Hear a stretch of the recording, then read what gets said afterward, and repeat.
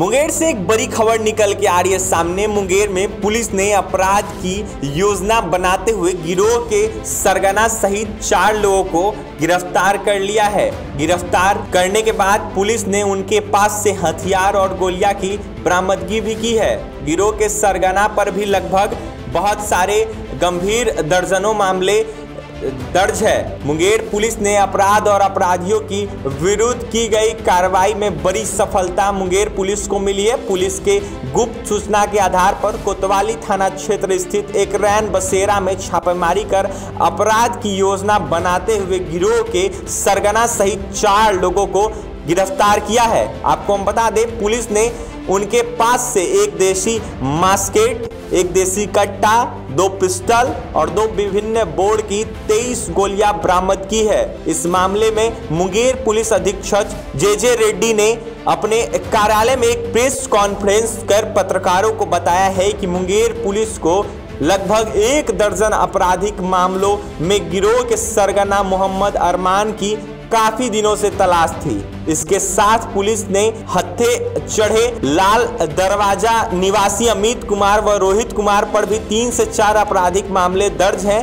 इनके एक अन्य साथी छोटू दौलतपुर निवासी शंकर तांती पर जमालपुर थाना क्षेत्र चार और मुंगेर कोतवाली का एक कुल पाँच मामला दर्ज है।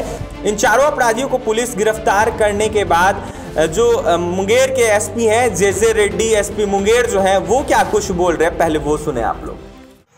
आज सुबह गुप्त सूचना मिला कि साढ़े चार बजे के चार अपराधी लोग इकट्ठा हुए उसी के क्रम में उन्होंने हमारा डी आई टी मोबाइल बुला के रेड किया। तो चार अपराधी लोगों को पकड़ा गया। उनका नाम मोहम्मद अरमान अमित कुमार, रोहित कुमार, शंकर कांति उनके पास से एक देसी मस्केट एक देसी कट्टा, एक देसी पिस्टल, दो गोली, तेईस मिला है। और अपराध इनका आपराधिक इतिहास भी मोहम्मद अरमान जो है, उनके दस केस में वांटेड चार्जशीटेड है।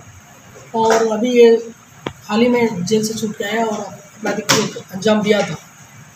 तो उसके क्रम में भी ये वांटेड था उस केस में। और शंकर तांती भी पाँच केस में अभी जो आपराधिक इतिहास में निकला उस पाँच केस निकला है। उसमें चार्जशीटेड है। फिर हम लोग इनका बाकी लोगों का भी आपराधिक इतिहास निकाल रहे हैं।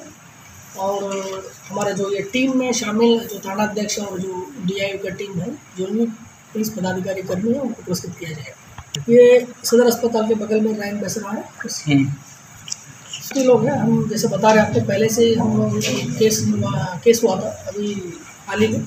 हम उसको, इसको लोग पहुँच गए थे वहाँ वांटेड था तो उसी में सूचना मिला था ये लोग रेड करने के लिए। तो रेड करने में तो फिर उसके साथ जो ये हथियार लेकर इकट्ठा थे उसी में गिरफ़्तार